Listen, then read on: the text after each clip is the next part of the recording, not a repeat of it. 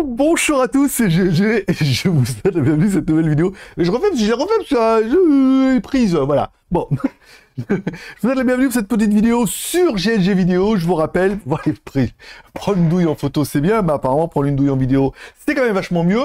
Je vous souhaite la bienvenue cette nouvelle vidéo, une vidéo tous les jours sur des produits que je vois sur internet, que je me dis tiens je vais acheter, et on va tester pour vous et peut-être que comme moi, vous êtes déjà tombé sur ce genre de produit vous allez sur Internet, alors vous voulez un chargeur pour votre téléphone, charge rapide, Ugreen 105 watts, c'est le top, j'utilise ça, c'est très bien. Voilà. Et tu te dis, mais dis donc, regarde, les Chinois nous vendent aussi un chargeur 65 watts avec beaucoup plus de prise pour 4 euh, balles. 4 balles. Alors, il y a... en photo, c'est bien, mais alors vraiment en douce, c'est mieux. Alors, euh, on va regarder ça tout de suite, on va tester, on verra à combien de watts on peut aller. Bon, une des choses à savoir avec la Chine, c'est que si vous allez voir un mec qui fait des batteries, comme ça, vous lui dites, voilà, moi je veux une batterie, enfin je veux un chargeur, euh, je veux toutes les normes de grosses bobines, enquille 65 watts, garantie, norme CE et tout, et il vous le fait. Il vous dira, ça coûte 20 balles, tu pourras le vendre 40 balles, tout va bien dans le meilleur des mondes. Tu vas le voir et tu dis, mais moi je veux, j'en veux un aussi, mais moi je veux que ça coûte 3 balles. Et il vous dira, je peux le faire aussi. Par contre, les composants dedans, ça sera pas ça. Il va en manquer un peu, il n'y aura pas toutes les protections, et ça vaudra le prix que tu es prêt à y mettre. Bon, là, c'est un peu le cas. Le problème, c'est qu'avec ces transfos-là, si vous prenez un transfo, vous transformez le 220 en, 220 en 12 ou 24 volts, encore une fois, on verra 15 volts. Donc il y a un nombre, il y a une ferrite, hein, il y a une spirale au début avec des câbles électriques, dans lequel il y a une ferrite, après il y a de l'autre, et le ratio du premier au deuxième permet de descendre la tension. Le problème du courant en continu, c'est que ça fait chauffer les câbles. Voilà faire passer beaucoup de courant, beaucoup d'ampères, ça fait chauffer les câbles. Si vous mettez un transfo avec une, avec une bobine, avec un câble d'une bonne section, ça chauffera pas, ça va chauffer un peu, ça va enquiller. Si vous mettez une, section beaucoup trop petite, ça aura vite tendance à faire chauffer.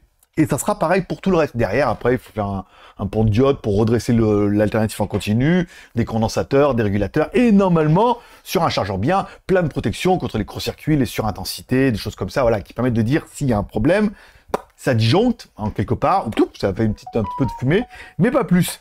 Le problème avec des choses comme ça, c'est que euh, là, rien du tout. là, ça va, ça va juste, euh, voilà, soit brûler pareil, il y a un composant qui va brûler pareil, mais est-ce qu'en brûlant, il va pas en faire cramer un autre, ça va pas chauffer de trop et faire fondre le plastique et faire le truc. Voilà, on n'est pas à l'abri d'accidents avec des produits comme ça. Donc, est-ce qu'on peut vraiment leur demander ce que ce qu'ils demandent? On verra, on va voir ça tout de suite. Est-ce que c'est dangereux? Oui, un peu quand même, malgré tout, euh, à raison de garder. On verra. Donc, une des choses qui est assez intéressante avec ce chargeur, si ce n'est son prix qui est, qui est quand même un peu exceptionnel, je n'ai jamais vu ça, c'est quand on va dans la fiche technique, on voit déjà alors, je vais pas vous parler de douille tout de suite, mais moi, il n'y avait pas de boîte. C'est juste dans un petit sachet et tout. Quand on aura notre chargeur, autant notre chargeur Ugreen peut enquiller 65 watts sur une prise, et on verra ça tout à l'heure en rechargeant mon MacBook. Autant, on voit que notre chargeur là, si il est bien noté 65 watts, il est 65 watts sur toutes les prises. C'est la puissance totale qu'il est capable de délivrer. Et quand on regarde bien dans la fiche produit, on se rend compte que la sortie maximale est de soit 5, 5 volts x 6 ampères, donc P égale 8, 6 x 5, enfin 6 x 5, 30, plus les 6, ça fait 33. Donc 33 watts, et avec un maximum de 15 volts x 2,2 ampères, ce qui fait aussi 33 watts, donc on est un peu dans les chiffres. Donc première chose qu'on peut voir, c'est que bah, on pourra sortir que 33 watts par prise maximale, donc deux fois 33 watts, ce que je vous déconseille de faire, parce que là vous allez lui en demander beaucoup, et là vous prenez des risques quand même un peu. Malgré tout, hein. que le truc il crame ou qu'il fasse cramer ce qui est autour de la prise, ce qui est moins, ce qui est moins drôle. Euh, donc bon, ah, mis à part ça, on va dire c'est pas mal. Après, le seul truc qu'on pourrait voir, c'est que mon produit, par exemple mon MacBook, pour être très très bien optimisé, il faut qu'il sorte du 20 volts x 3 ampères. Si on peut avoir 20 volts et 3 ampères, on peut taper 60 watts. Là, on voit que le MacBook s'éclate et recharge à fond. Ce que apparemment n'est pas capable de faire mon chargeur. Donc déjà, il peut faire que 33 watts. Et est-ce que il pourra charger euh, de manière optimale? On va regarder ça tout de suite. Donc je vais dans un premier temps mettre mon wattmètre ici. Alors le problème, c'est que la prise avant était bien, et là, elle est moins bien. On met comme ça, voilà. J'ai obligé d'acheter un truc là. Mon autre prise fonctionnait pas, parce que moi, comme j'habite en Asie, euh, voilà, ça voulait pas fonctionner. Est-ce que là, il va faire contact ou pas? Est-ce que là, est-ce que maintenant... Tout à l'heure, ça a marché. Hein. Évidemment, Bonaldi euh, sort de ce corps. Ça a marché tout à l'heure, mais là, forcément, ça ne marche plus. Je mets mon téléphone c'est bien enquillé dedans Voilà, ouais, c'était mal. Ouais, j'ai vraiment un petit problème de contact. Bon, premier truc, on peut voir avec mon téléphone, on peut charger, vous allez voir ici, on peut charger du 6. Alors, il est presque chargé mon téléphone. Donc c'est peut-être pour ça qu'il faut vraiment que je l'enquille bien. Donc on peut taper, euh, voilà, 5 watts avec le téléphone, il, il, est à 99%. Donc là, on va dire c'est un peu, un peu nul. On va l'enlever, on va mettre plutôt le MacBook, qui lui normalement devrait charger euh, à fond les ballons puisqu'il est déjà à moitié. Il n'est pas rechargé du tout depuis tout à l'heure. Voilà, là on arrive à taper, vous voyez, 22, 33, 50, 61. On arrive à taper les 61 watts qui sont promis. 20 volts x 3 ampères, 60 watts. Ok, pour, pour l'instant, on va dire que ça charge quand même plutôt pas mal. Voilà, donc là, on enlève notre truc, on met notre chargeur Chipos. Alors, on va pas mettre celui-là, on va mettre plutôt le téléphone dans un premier temps. Savoir si déjà on arrive à charger le, petit téléphone au moins les 5 watts. Ouais, ouais, ouais, ouais, j'arrive.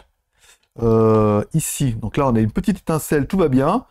donc là, on se rend compte que bah, pour l'instant, il charge. Pour notre téléphone est presque à, 100%. Hein, donc, euh, tout va bien. Ok, donc là, bas il a fini de charger, mais ça, ça paraît un peu normal. Je suis à 99%. On va essayer directement avec le MacBook, qui lui, normalement, devrait demander au moins les... Euh, le problème, c'est qu'en Asie, on est sur les prises américaines et qu'il n'y a rien qui va. Je voulais mettre des adaptateurs, des trucs, euh, voilà. Allez, à nous. La prise, on l'enfonce bien. Ok, c'est ça, il y a vraiment un petit contact. Donc là, on peut regarder, c'est que mon MacBook Pro recharge à 2 watts. C'est pas la gloire. On voit bien qu'il est allumé ici. Je sais pas si vous allez voir sur la vidéo. Ici, on voit bien que... Attends, la LED est où? Non, on voit pas le truc. Voilà. Là, on voit bien la LED. Elle est bien allumée. Mais ça charge euh, de la merde. Ça charge pas beaucoup. On remet là. Ok, donc je viens de remettre le Mac en dernier, recours. Bon, bah, le Mac charge, mais à 2 watts. Voilà. Le problème, c'est que voilà, vraiment, le Mac, il n'y a pas la bonne tension, il n'y a pas les 20 volts. Et apparemment, en dessous, le Mac prend des fois 15 volts, mais là, on voit que, que ça vaut pas. Donc, bilan de tout ça, est-ce que ça marche? Alors moi, le problème, c'est voilà, encore une fois, j'habite en Asie, j'ai pas les bonnes prises et il y a des petits problèmes de contact. Mais enfin, au-delà de ça, là, quand j'arrive, euh, la batterie, j'arrivais pas à la charger. Il ne doit vraiment pas y avoir l'aventure. Comme il n'y a pas toutes les tensions et euh, qui sont disponibles, et eh ben on se rend compte qu'il y a pas mal d'appareils, euh, j'ai des appareils qui marchent pas tout court. Après, il y en a pas mal qui marchent, mais qui rechargent pas autant qu'ils devraient. Le MacBook, il recharge, le Samsung, il recharge. Donc, est-ce que ça fonctionne pour le prix? Oui, par contre, bon bah forcément, je pense que les 65 watts, ça envoie du rêve. Je crois que le mieux que j'ai arrivé à, je suis arrivé à faire, c'était à peu près, je suis arrivé une fois, je crois, à 30 watts en faisant par un miracle. Voilà grâce à, grâce à Bouddha, on est arrivé à avoir les 30 watts. Au-delà de ça, on voit que bah, ça marchote, hein, il n'y a pas ce qu'il faut. Et le problème de tous les nouveaux smartphones avec les nouvelles charges, c'est que pour optimiser la charge qui vous est promise, il faut bien regarder la tension qui demande et l'intensité qui demande. Si votre chargeur fait autant, voire plus, tant mieux, ou même moins. Hein. Je veux dire, si tu as 20 volts mais que ça que 1 ampère, tu taperas 20 watts. Si tu as 2 ampères dans le chargeur, l'appareil prendra les 40 watts. Mais on voit bien que c'est un petit peu, c'est un petit peu difficile. Voilà, t'en as pour ton pognon. Donc, est-ce que pour 4 euros, c'est une arnaque? Non. Est-ce que c'est une douille? Non. Encore une fois, si, comme tout le monde, tu regardes bien c'est comme tout le monde, tu fais pas. C'est comme tout le monde, si au lieu de tout ça, tu regardes bien le détail du produit, tu regardes bien les tensions et que tu achètes en connaissance de cause en disant non, ce n'est pas un chargeur normal, c'est un chargeur qui envoie que 30 watts maximal sur les trois tensions qui nous sont données. Si ton chargeur d'origine ou ton téléphone est compatible avec ces trois euh, tensions, tu auras de la bonne charge. Sinon, tu auras une charge minimum ridicule comme un truc de 10 watts. Donc en même temps, on dirait 4 euros pour un truc du watt. Après, à savoir que si par miracle, tu as la bonne tension, que tu arrives à l'exploiter à ton maximum, c'est pas recommandé non plus, puisque chargeur, ça chauffe. Déjà, un bon chargeur, ça chauffe. Et euh, donc un mauvais bon chargeur et un mauvais chargeur. Euh, le mauvais chargeur, lui, va chauffer aussi, mais il peut soit se dégrader, soit se détériorer, soit... Euh, je vais pas aller jusqu'à brûler, exploser, parce que après, c'est un peu plus technique mais il peut brûler, exploser, pas exploser, mais il peut, voilà, les composants peuvent cramer en disant tu demandes trop au produit, il n'y a pas de sécurité, euh, le produit s'enflamme un peu, voilà. Bon, j'espère que vous aurez aimé cette petite vidéo.